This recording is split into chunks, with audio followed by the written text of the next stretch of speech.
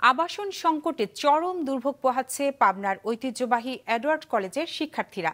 প্রায় ছাব্বিশ হাজার শিক্ষার্থীর এ কলেজে তিনটি ছাত্র ও দুইটি ছাত্রী নিবাসে ঠাঁই হয়েছে মাত্র সাড়ে ছয়শো শিক্ষার্থীর।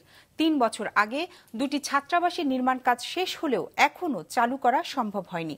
প্রতিনিধি শহীদুল ইসলামকে সাথে নিয়ে উৎপল মির্জা রিপোর্ট। আবাসন সংকট নিরসনে কলেজ ক্যাম্পাসে দুহাজার উনিশ সালে নির্মিত হয় শেখ রাসেল ছাত্রাবাস এবং সুচিত্রা সেন ছাত্রীনিবাস। সব ধরনের প্রস্তুতি সত্ত্বেও প্রায় তিন বছর ধরে চালু হচ্ছে না এ দুটি ছাত্রাবাস। ফলে চরম দুর্ভোগ পোহাচ্ছে শিক্ষার্থীরা। অথচ ঘুম ধরে নষ্ট হচ্ছে হল দুটির অনেক আসবাবপত্র।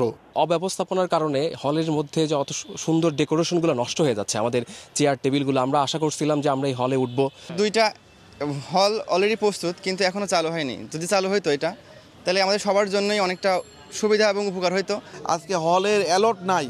আজকে হল দুইটা পরিত্যক্ত হয়ে, হল দুইটা নষ্ট হয়ে যাচ্ছে। এদিকে প্রায় আড়াই হাজার শিক্ষার্থীর এ প্রতিষ্ঠানে ছাত্রাবাস রয়েছে মাত্র পাঁচটি, যেখানে বাস করছে কলেজের মাত্র আড়াই শতাংশ শিক্ষার্থী। প্রায় দশ হাজার শিক্ষার্থী ঠাঁই নিয়েছে বিভিন্ন মেস বা বেসরকারি ছাত্রাবাসে, যেখানে থাকার জন্য তাদের গুনতে হচ্ছে বড় অঙ্কের টাকা। সিট ভাড়া হলো দুই হাজার পঁচিশশো, এরকম করে সিট ভাড়া।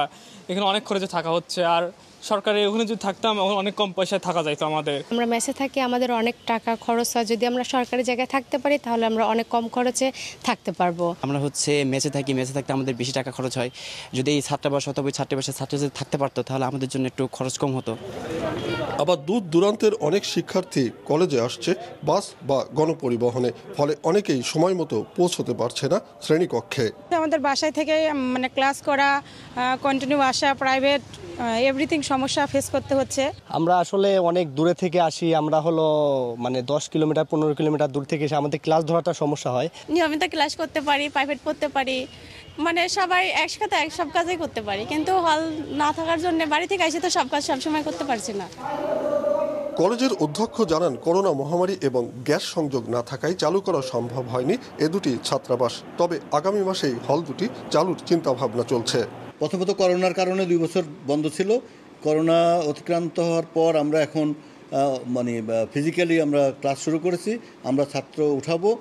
একটু বিলম্বিত হচ্ছে কারণে যে গ্যাস সংযোগের জন্য অপেক্ষা করেছিলাম আমরা। একশো চব্বিশ বছর বয়সী প্রাচীন এ কলেজের নতুন দুটি হল চালু সহ আবাসন সংকট নিরসনের দাবি কলেজ শিক্ষার্থীদের।